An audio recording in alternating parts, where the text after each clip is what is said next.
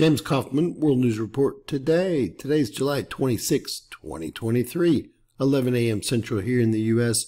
God bless you and yours, no matter where you are in the world.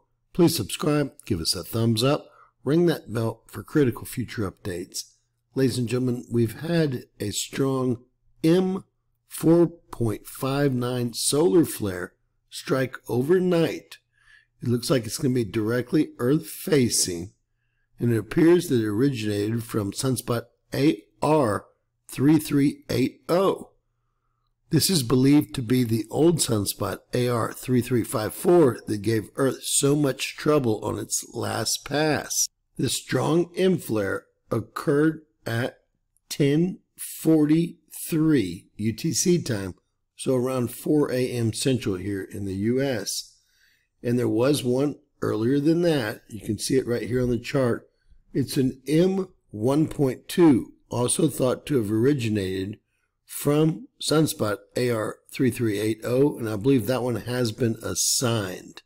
Again, the M4.95 has not yet been assigned to a Sunspot location, but we're going to be able to see that it came from AR3380 on SDO in just a few moments.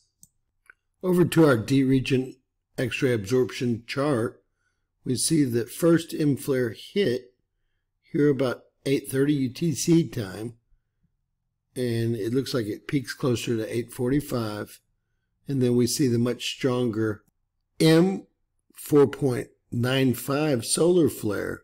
Again, that's going to be around 1040 UTC time, and you can back that up to around 4 a.m. last night centrally here and that's going to have blasted while the sun was over Africa, the Middle East, and Western Europe.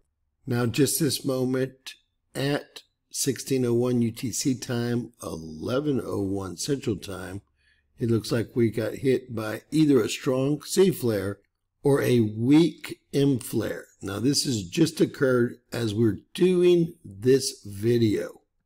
You can see that it hit all of the Caribbean and brush parts of South America and North America.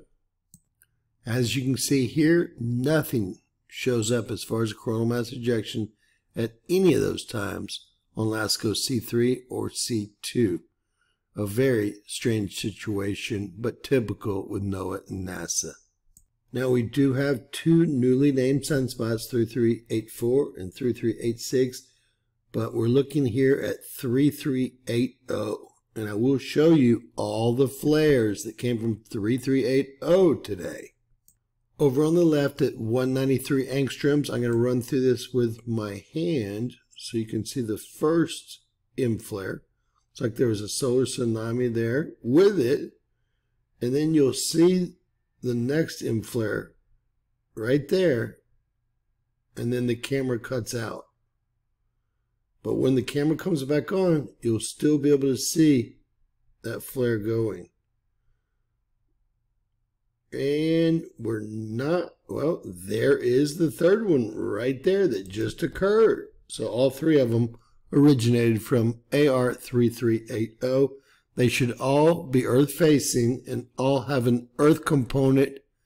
And the probabilities of a coronal mass ejection from an M4.95 solar flare are incredibly high. We'll have to see what NASA and NOAA says later in the day, but that's usually, almost always, what occurs. God bless you guys. Share, subscribe, and always remember that anything is possible in Bizarro World.